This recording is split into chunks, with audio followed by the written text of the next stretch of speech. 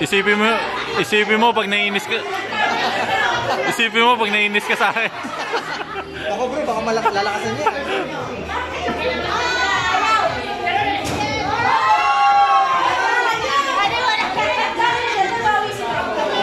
Okay lang yan, naka-video ka naman eh.